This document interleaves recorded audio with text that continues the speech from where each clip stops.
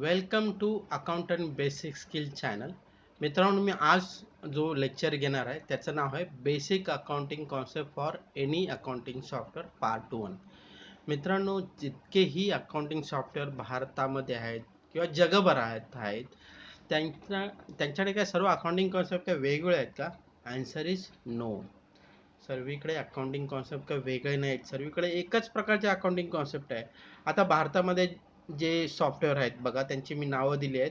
पण हा लेक्चर सुरू होण्याच्या अगोदर मला तुम्हाला एक विनंती करायची आहे की लेक्चर पूर्ण ऐका. पूर्ण जर ऐकाल ना तर तुमच्या ज्ञानामध्ये भर पडेल. आणि जर तुम्हाला आवडला तर बेल आयकॉन प्रेस करा आणि सबस्क्राईब माझं चॅनल करा आणि तुमच्या मित्रांना पण शेअर करा. जेणेकरून त्यांचं पण नॉलेज अपडेट होईल. मित्रांनो आता मी लेक्चर सुरू करतो आहे आता भारतामध्ये अकाउंटिंग सॉफ्टवेअर कुठचं चांगलं आहे? Small and medium size business जे छोटे बिझनेस त्यांच्यासाठी Tally E R P nine हे खूप चांगलं सॉफ्टवेअर आहे. अजून पण काही सॉफ्टवेअर आहेत बिझी अकाउंटिंग आहे Marg E R P nine plus आहे क्विक बुक्स आहे इंडिया जोहो बुक्स आहे.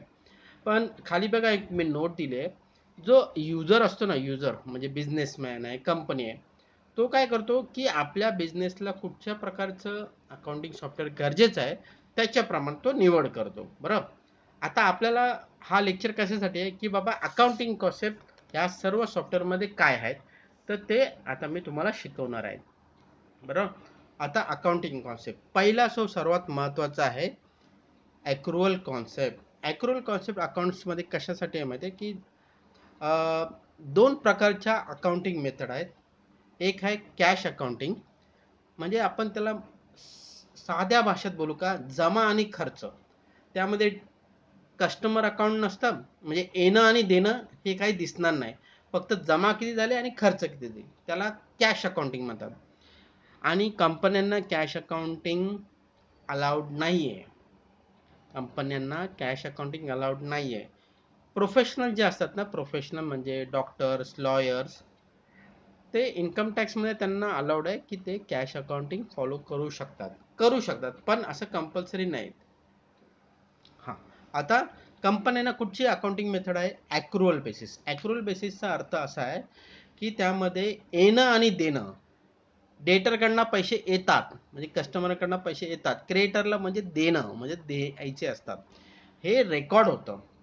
म्हणजे जे माल आपण उधारीवर खरेदी केला आहे त्याचा आपण परचेस बुक करतो. जो माल आपण उधारीवर विकला त्याचा आपण सेल्स बुक करतो. बरं? हे ॲक्रुअल कॉन्सेप्टमध्ये लिहिलं आहे आता दुसरी अकाउंटिंग कॉन्सेप्ट आहे. लक्षात मित्रांनो लक्षात आहे अका अक्रुअल कॉन्सेप्ट बघा कॅश अकाउंटिंग आणि अक्रुअल ओके दुसरी आहे कन्सिस्टन्सी कन्सिस्टन्सी म्हणजे काय?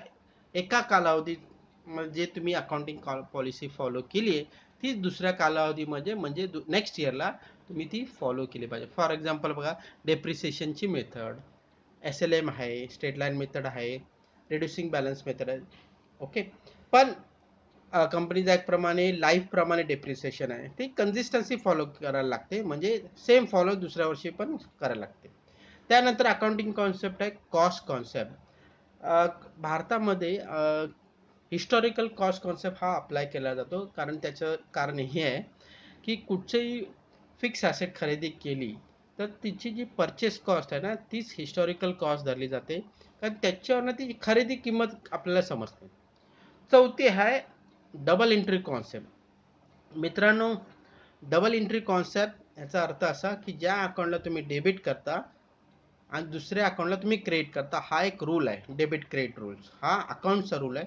हा रूल नेहमी लक्षात ठेवा. मॅन्युअलमध्ये ह्या नेहमी चुका व्हायच्या पण टॅली जे अकाउंटिंग सॉफ्टवेअर किंवा कुठचेही सॉफ्टवेअर आहे त्यामुळे डेबिट क्रेडिट असेल तरच त्या एंट्री ॲक्सेप्ट होणार नाही तर ॲक्सेप्ट होत नाही. आणि हा रूल आहे दुसरा. काय? Debit the account that receive the benefit. म्हणजे डेबिट म्हणजे कस्टमर अकाउंट हां? कस्टमरला केलं याला म्हणजे त्याला बेनिफिट मिळालं. म्हणजे त्यांनी काही आपल्याकडनं माल खरेदी केला. Credit the account that gives the benefit. म्हणजे आपण त्यांच्याकडनं माल खरेदी केला म्हणजे क्रेडिटर्स हां? हा डबल इंटर कॉन्सेप्ट आहे. आता पाचवा महत्त्वाचा कॉन्सेप्ट आहे बाबा इंटिटी कॉन्सेप्ट. बिझनेस हा तुमचा सेपरेट आयडेंटिटी आहे. म्हणजे तो तुमच्या घरचा घरचे खर्च तुम्ही त्या बिझनेसमध्ये आणू आणायला अलाउड नाही आहे तुम्ही आणू शकत नाही. मग ते का बिझनेस इंटिटी कॉन्सेप्ट होत नाही ते. बिझनेसचे खर्च आणि जमा बाजू वेगळी आणि तुमचे पर्सनल खर्च जमा आणि खर्च काय असेल तुमचे पर्सनल ते वेगळे. त्याच्याशी काही संबंध नाही. सहावा अकाउंटिंग कॉन्सेप्ट आहे गोईंग कन्सर्न म्हणजे तुमचा बिझनेस काय बंद होणार नाही आहे आणि तो चालू राहणार आहे. पुढच्या वर्षी पण चालू राहणार. मग त्याला म्हणतात गोईंग कन्सर्न सातवं आहे मनी मेजरमेंट कॉन्सेप्ट म्हणजे तुमची जी ट्रान्झॅक्शन जी रेकॉर्ड होते ती मनी म्हणजे पैशा रुपयाच्यामध्ये अकाउंट होते. आठवं आहे मॅचिंग कॉन्सेप्ट मित्रांनो मॅचिंग कॉन्सेप्टमध्ये कॅश अकाउंटिंग बसत नाही. कारण कॅश अकाउंटिंग काय सांगतं? जमा आणि खर्च. बरोबर ॲक्युरलमध्ये काय होतं? की जर तुम्ही माल उधारीवर आणला ना तरी तुम्ही अकाउंट्समध्ये एंट्री रेकॉर्ड करणार म्हणजे परचेस रेकॉर्ड करणार. आणि सेल्स तुम्ही जर ॲक्च्युअल कॅशमध्ये केला असेल किंवा उधारीवर माल विकला असेल तर तो सेल्स तुम्ही रेकॉर्ड केला जाईल. म्हणजे याचा अर्थ असं जर एका बाजूला सेल्स असेल तर दुसऱ्या बाजूला परचेस असला असणारच. हे ॲक्रोल कॉस्ट कॉन्सेप्टमध्ये सांगितलं आहे कॅश अकाउंटिंगमध्ये कंपल्सरी नाही आहे म्हणजे फॉर एक्झाम्पल बघा तुम्ही एखाद्या व्यक्तीकडं कॅश अकाउंटिंग तुम्ही फॉलो करता. एखाद्या व्यक्तीकडनं तुम्ही उधारीवर माल खरेदी केला कॅश अकाउंटिंगमध्ये एंट्री काय येणार नाही. कारण कॅश अकाउंटिंग काय सांगतं जमा असेल तरच एंट्री पेमेंट केलं तरच एंट्री म्हणजे परचेस तुमचं काय दिसणार नाही. आता जो तुम्ही माल उधारीवर आणला आणि तो तुम्ही कॅशमध्ये विकला तर तुम्ही ट्रेडिंग अकाउंटमध्ये काय दिसणार? बाय सेल्स जे काय पैसे आले ते पण परचेस काय समोर दिसणार नाही. याचा अर्थ ही कॅश अकाउंटिंग अलाउड नाही आहे कंपन्यांना त्यांना नेहमी ॲक्युरल कॉन्सेप्टच म्हणजे मॅचिंग कॉन्सेप्टच आहे. म्हणजे जिथे सेल्स असेल डाव्या उजव्या बाजूला तर तुमच्या डाव्या बाजूला परचेस दिसलं पाहिजे म्हणजे ट्रेडिंग अकाउंटला आता रिअलायझेशन कॉन्सेप्ट रिअलायझेशन कॉन्सेप्ट याचा अर्थ काय? तुम्ही जे ॲसेट रेकॉर्ड केले ते बिझनेसमध्ये रिअलाइज झाली पाहिजे. ओके? आता महत्त्वाचे अकाउंटिंग सेटअप जे असतात सॉफ्टवेअरमध्ये ते तुम्हाला सांगणार. फार महत्त्वाचे असतात. लक्षात ठेवा हे तुम्ही जर विसरलात ना किंवा प्रॅक्टिस नाही केली तर तुम्हाला कधी समजणार नाही. तर पहिला समजून घ्या. बघा कुठच्याही जगातलं सॉफ्टवेअर असतं त्यामध्ये हे तीन अकाउंटिंग जे सेटअप असतात ना ते सॉफ्टवेअरमध्ये करतात. मित्रांनो मी तुम्हाला क्लिअर सांगतो हे जे सॉफ्टवेअर असतं ना सॉफ्टवेअर त्यांना अकाउंटचं काहीही कळत नाही. प्रोग्रामर प्लॅनिंग करतो सेटिंग करतो रेकॉर्डिंग करतो स्टँडर्ड सेटअप करतो काहीतरी म्हणजे महत्त्वाचे सेटअप करतो जेणेकरून तो रिझल्ट येईल. आता पहिला जो आहे मास्टर सेटअपमध्ये जो काय सांगतो क्रिएट कंपनी कंपनी बनवताना टॅलीमध्ये फॉर एक्झाम्पल टॅली सॉफ्टवेअर तर हे कंपनी क्रिएट करताना खूप प्रिकॉशन घ्यायला लागते. तिचं मास्टर सेटअप तिचे नाव पत्ता PAN number email I D phone number G S T number हे सर्व व्यवस्थित रेकॉर्ड करायला लागतं. मित्रांनो हे लाँग टर्म असतं. त्यामध्ये जरासुद्धा मायनर मिस्टेक झाली तर समजा हे सॉफ्टवेअर तुम्ही ऑल ओव्हर इंडिया वापरत असेल तर सर्वीकडे ती एरर जाईल. म्हणून खूप प्रिकॉशन घेऊन ते डेटा अपडेट करायचा असतो. त्यानंतरचा जो आता याच्यामध्ये अजून पण आहे. अकाउंटिंग इन्फॉर्मेशन आहे. ज्याच्यामध्ये ग्रुप कसे क्रिएट करायचे मल्टिपल लेजर कसे करायचे वाउचर टाईप कसे करायचे हे सर्व मास्टर सेटअपमध्ये हे मास्टर सेटअप ओके फार महत्त्वाचं असतं मास्टर सेटअपमध्ये काय काय येतं? त्यानंतर आहे ट्रान्झॅक्शन स्टेटअप म्हणजे नोंदणी कशी केली पाहिजे? अकाउंटची ज्या ट्रान्झॅक्शन होणार त्याची नोंदणी आपल्या बुक्समध्ये कशी होईल? आणि सॉफ्टवेअरला ती जर ती नोंदणी समजवायची असेल तर त्याच्यामध्ये प्रकार आहेत. त्यामध्ये पहिला प्रकार आहे रिसिप्ट म्हणजे जमा आली पाहिजे. दुसरं पेमेंट तिसरं contra journal purchase sales debit note credit note reverse journal आता आपण एक समजून घेऊया रिसिप्ट रिसिप्टमध्ये काय जमा. आणि जमेमध्ये नेहमी कॅश अँड बँक अकाउंट नेहमी डेबिट असतं. ओके? कारण ते तुमच्या कॅशमध्ये जमा झालं असतं. पैसे जमा झाले सर पेमेंटमध्ये always cash and bank credit असतं. आणि जे ज्याचे तुम्ही पेमेंट केलं सॅलरीचं पेमेंट केलं तर salary account debit to cash or bank कॉन्ट्रामध्ये काय असतं? डेबिटला आणि क्रेडिटला फक्त फक्त हे दोनच लेजर असतात. Cash or bank cash or bank बाकी कुठचेही लेजर अलर्ट नाही. कारण तुम्ही कॅश विड्रॉ केली तीच बँकेत भरली. बँकेतनं विड्रॉ केली ती कॅश अकाउंटला आणली. म्हणजे एवढेच त्याचे. हे टॅलीमध्ये चांगलं सेटअप केलेलं आहे. खरंच चांगलं केलेलं आहे. म्हणजे काही युजरनी काही मिस्टेकच केल्या नाही पाहिजे तिसरा चौथा आहे जर्नल जर्नलमध्ये काय असतं? डेबिटला आणि क्रेडिटला कॅश अँड बँक नसते जेव्हा काही चुका होतात अकाउंट्समध्ये तर ते दुरुस्त करण्यासाठी जर्नल इंट्रा पास केल्या जातात. त्यानंतर आता परचेस जर तुम्ही परचेस दोन प्रकारचे आहेत. एक आहे रोखीने केलेला परचेस दुसरा आहे उधार केलेला परचेस अशा दोन प्रकारच्या इंटरेस्ट आहेत. सेल्समध्ये तसंच आहे. एक रोखीने माल विकला आणि उधारीवर माल विकला. ओके तर ती एंट्र्या कशा करायच्या? ते टॅली सॉफ्टवेअरमध्ये दाखवलं आहे. आता डेबिट नोट म्हणजे परचेस रिटर्न कसं रेकॉर्ड करायचं? Debit note okay credit note sales return कसं रेकॉर्ड करायचं रिव्हर्स जर्नल जे तुम्ही अगोदरची जर्नल बुक केली ती कशी रिव्हर्स करायची? त्यामध्ये काय नॅरेशन आणि अजून पण दुसरे वाउचर आहे ते फक्त माहितीसाठी देतात. परचेस ऑर्डर आणि सेल्स ऑर्डर हे जे दोन वाउचर आहे ना त्याचा अकाउंट्समध्ये काय इफेक्ट येत नाही. हे फक्त एक माहितीसाठी येतं की बाबा तुम्ही किती परचेस ऑर्डर तुम्ही सप्लायरला सांगितलं आहे सेल आणि किंवा सेल्स ऑर्डर की तुम्ही किती कितीची सेल्स ऑर्डर समोरच्या पार्टीकडनं तुम्हाला आली आहे? तर हे आपल्या नोंदणीसाठी असतं. त्याचा अकाउंट्समध्ये इफेक्ट येत नाही.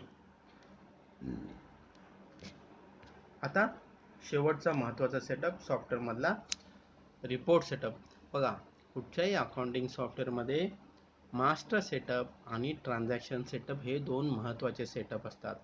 ते जर परफेक्ट झाले तर तुमचा जो रिपोर्ट सेटअप असतो तो चांगल्या प्रकारे येईल. म्हणून मास्टर सेटअप आणि ट्रान्झॅक्शन सेटअपमध्ये म्हणजे ट्रान्झॅक्शन म्हणजे व्यवस्थित इंट्रा रेकॉर्ड केल्या पाहिजे.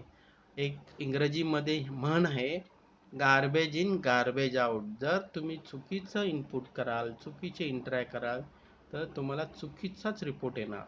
तसं झाले नाही पाहिजे. तर आपल्याला अकाउंटिंग कॉन्सेप्ट समजून त्या अकाउंटिंग इंट्रा बुक केल्या पाहिजे. म्हणून सांगतो की एकदा रिव्हिजन करा. काय हे अकाउंटिंग कॉन्सेप्ट आहेत?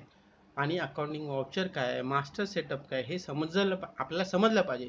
तर जगातले कुठचेही अकाउंटिंग सॉफ्टवेअर आपण इझी इझी समजू शकतो. आता त्यानंतर शेवटचं मी सांगितलं रिपोर्ट सेटअप रिपोर्ट सेटअपमध्ये काय आहे? बॅलन्स शीट आहे प्रॉफिट अँड लॉस आहे स्टॉक समरी आहे रेशो ॲनालिसिस आहे. ओके त्यानंतर डिस्प्ले पण करता येतं ट्रायल बॅलन्स बघता येतं तुम्हाला डे बुक बघता येतं. ट्रायल बॅलन्स म्हणजे वर्षभराचे समरी पूर्ण असते. डे बुक म्हणजे त्या दिवसाचा त्या दिवसामध्ये किती वाउचर बुक झाले त्याची पूर्ण डिटेल्स असते. ते तुम्ही पिरियडचं पण घेऊ शकता आठवड्याचं घेऊ शकता पंधरा दिवसा एक महिना सहा महिने वर्षभराचं. अकाउंट्स बुक रेडीममध्ये टॅलीमध्ये तुम्हाला मिळतात किंवा कुठच्याही सॉफ्टवेअरमध्ये मिळतात. स्टेटमेंट ऑफ अकाउंट्स मिळते इन्व्हेंटरी मिळतात कॅश फ्लो फंड फ्लो पण समजावं. कारण जर तुम्ही एंट्री परफेक्ट रेकॉर्ड केली म्हणजे ट्रान्झॅक्शन तर तुम्हाला हे सर्व रिपोर्ट व्यवस्थित रिसिट्स आणि पेमेंट येतात. लिस्ट ऑफ अकाउंट्स किती मेंटेन केलं आहे एक्सेप्शन रिपोर्ट काही निगेटिव्ह कॅश बॅलन्स असेल तरी पण तुम्ही एंट्री केली टॅलीमध्ये तर तुम्हाला नकळ तुम्हाला माहिती ना की एक्सेप्शन रिपोर्टमध्ये तेच रेकॉर्ड होतं. आणि मॅनेजमेंटला माहिती पडतं की बाबा यांनी हे निगेटिव्ह एंट्री मा पास केलेली आहे. आणि अजून त्या अकाउंटिंग सॉफ्टवेअरमध्ये हे पण एक फीचर्स असतात जे अदर सेटअप असतात ते फार महत्त्वाचे असतात रिपोर्टसाठी एक असतात. आता जनरल सेटअप असतो नंतर आउटस्टँडिंग मॅनेजमेंट म्हणजे debtors and creditor bill by bill maintain करायचे का? तर नेहमी हे मेल बिल बाय बिलच केले पाहिजे म्हणजे रेकॉर्डिंग करताना टॅलीमध्ये बरं पडतं. कॉस्ट सेंटर तुम्हाला पाहिजे का? तुम्हाला बिलिंग इन्व्हॉइसिंगमध्ये करायचं आहे का? बजेटिंग करायचं आहे का? बँकिंग चेक प्रिंट करायचं आहे का? तुम्हाला इन्व्हेंटरीचे ऑप्शन पाहिजे का? स्टोरेज क्लासिफिकेशन ऑर्डर करायचे आहे प्रोसेसिंग परचेस मॅनेजमेंट आहे सेल्स मॅनेज अदर फीचर्स हे तुम्हाला करायचे आहे. आणि शेवटचा जो महत्त्वाचा आहे जो सेकंड लास्ट जो आहे तो की तुम्हाला टॅक्सेशनचा जो सेटअप करायचा आहे का? म्हणजे जी एस टी वॅट हा फार महत्त्वाचा आहे. तो आपण जेव्हा मी टॅलीचा जी एस टीचा लेक्चर घेईन ना तेव्हा तुम्हाला पूर्ण समजून सांगेन. टी डी एसचा पण याच्यामध्ये सेटअप असतो.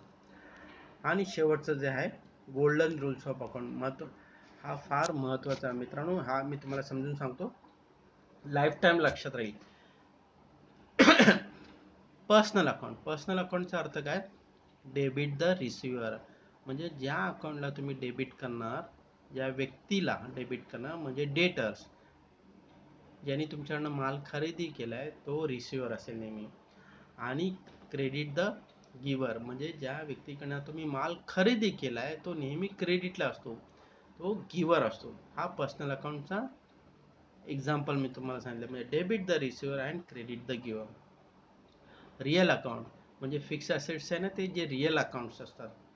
फिक्स ॲसेट जे बॅलन्स शीटमध्ये दिसतात ना ते real account. Debit what counts in म्हणजे कम्प्युटर जर खरेदी केला तर कम्प्युटर तुमच्या अकाउंट्स बुकमध्ये येईल. आणि क्रेडिट वॉट गोज आउट म्हणजे जे कम्प्युटर जर तुम्ही विकला खराब झाला म्हणून. तर तो goes out what goes out म्हणजे निघाला तुमच्या बुक्समधनं म्हणून debit what comes in and credit what goes out nominal account profit and loss अकाउंटचे जे एक्सपेन्सेस असतात डेबिट साईड आणि क्रेडिट साईड त्याला हा रूल लागू पडतो नॉमिनल अकाउंटचा नॉमिनल अकाउंट म्हणजे काय? Debit expenses and losses and credit gains or income okay मित्रांनो मला आशा आहे की तुम्हाला हा लेक्चर आवडला असेल. जर आवडला असेल तर please press bell icon and subscribe my channel thank you